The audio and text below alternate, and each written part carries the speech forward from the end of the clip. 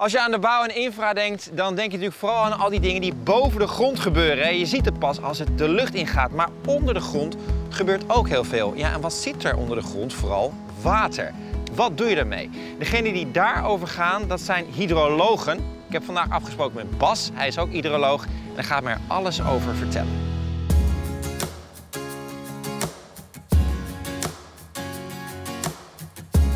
Dag Bas.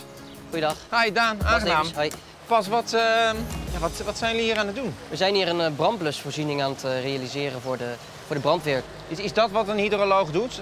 Eh, boren naar water voor de brandweer? Ja, over het algemeen kijkt een hydroloog in de grond wat, ja, waar, het- waar het water zit en hoeveel water er uit de grond moet worden gehaald voor een bouwproject. Zoals parkeer- bij het bouwen van parkeergarages, rioleringen. Jullie zorgen ervoor dat als een bouwer de grond ingaat, dat hij droge voeten houdt. Ja, eigenlijk wel. Dat is met name omwille van de veiligheid. Te zorgen dat de bouwer zijn object ja, veilig kan maken. En nu gaat natuurlijk alles wat je bouwt, dat gaat eh, deels de grond in. Betekent dat dat je dus ook bij elk project rekening moet houden met grondwater? Nee, alleen bij de projecten waar het bouwniveau onder het grondwaterniveau ligt. En hier op de Veluwe, hoe diep zit dat water? Eh, Hier denk ik op een meter of drie. Dus je moet drie meter boren vandaag. Nee, want we moeten voldoende capaciteit behalen bij deze, bij deze boring. We moeten 90 kub in het uur Dat halen. is hoeveel liter? Dat is 90.000 liter per uur. Martin gaat zo meteen eh 15 meter eh, of meer, dan moeten we even in het werk kijken. Want we moeten een goede laag vinden waar we water uit kunnen halen. Eh, gaat hij boren. Vervolgens liggen hier de buizen die de grond ingaan, die als bron worden gebruikt. De buizen met de sleuven worden straks in, een, eh, in, in de zandlaag gezet die nodig is om Ja. het water uit te halen. En die blinde buis, dus die dichte buis, die wordt er bovenop gezet. Oké, en daar komt dan niet het zand doorheen, alleen het water. Precies. Oké. Ik zou zeggen, zet mij aan het werk, Bas. Dat is goed. Dit is, eh, Dag Martin. Goeiedag. Daan, aangenaam. Ja, Martin. Martin, jij bent boormeester. Ja, klopt. Klinkt wel goed hoor. Ja. Boormeester. Wat betekent dat? Wat houdt dat in?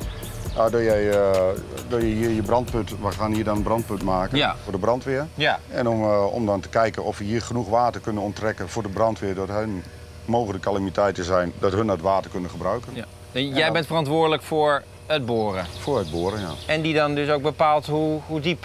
Hoe diep we voor moeten. En Ja. da- dat zien we natuurlijk weer na de monsters die wij menen. Hier hebben we de monsterplank liggen. Voor elke meter een zandmonster... Wacht even, per- meter dat je boort? Ja, dit is zeg maar van, nul, eh, van nu van 0 tot 8 meter. Daardoor kunnen wij weer een beetje bepalen waar wij straks het filter gaan neerzetten. Oké. Als het heel fijn zand is, is het natuurlijk slecht, want dat kan door die sleufjes heen. Ja. En als straks het filter erin staat, dan eh, komt er weer een grindpakket omheen met filter, filtergrind. Dus is het dus ook heel erg zoeken en, en nou ja, op, op basis wat je ziet bepalen zitten we op de juiste diepte. Ja, dat klopt. Eigenlijk ben je een soort menselijke wiggelroede. Zoiets, ja. Zou ik- zo we je kunnen noemen. Zo ongeveer, ja. Jij weet ja. waar het water zit. Ja, ja, Ja, ik durf het bijna niet te vragen, maar eh, zou ik ook een stukje mogen boren? voor mij wel, zeker. Ja. Ja, dat moet kunnen. En dan wat we vinden, dat spitten we dan, hè? Goud, olie, gas. Dat kunnen we delen. Dat is wel eens eerlijk. Ja, Oké, dat kunnen we gewoon eerlijk goed. Hoe beginnen we? We boren het materiaal los en eh, de, de zandpomp die, eh, pompt het eh, water en het zand pompt die omhoog. En dat komt door de buizen en dan komt het in de achterste bak terecht. En dat bezinkt daar dan het water. Oké, en dan weet je, daar kan je die monsters En natuurlijk... daar halen wij die monsters weer uit. Ah, ja. Ja. Ik snap het. Momenteel is het zandoverleg gaande. Gaan ze bepalen of ze diep genoeg zijn. Waar kijk je nou naar, Bas?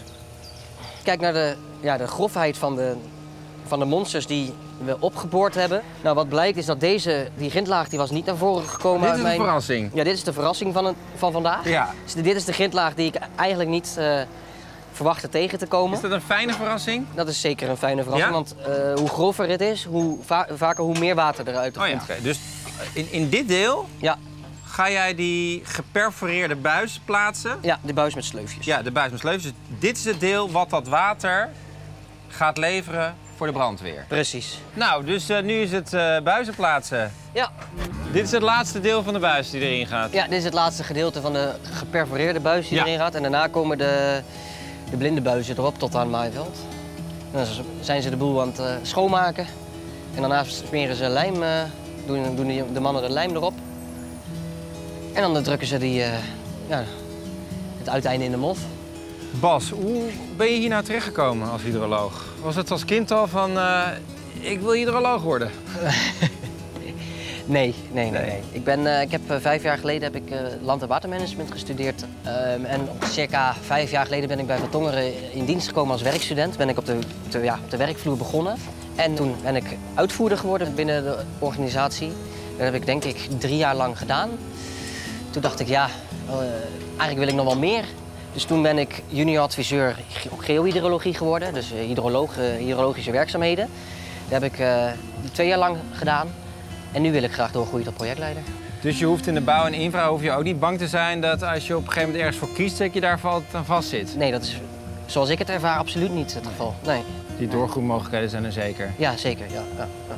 Dus eh, de, heren die hier staan te werken, die blijven dit ook niet continu doen. Die kunnen dus ook heel goed gewoon eh, straks op een andere positie terechtkomen. ja dat kan. Rick gaat bijvoorbeeld ook eh, de opleiding boormeester doen. En zo proberen we ons personeel ja, up-to-date te houden en, en, en op te leiden. Ja. Ze zijn er toch? Ja, Ja. Absoluut. De, de bron die staat nu ja, op de bodem van het geboorde gat.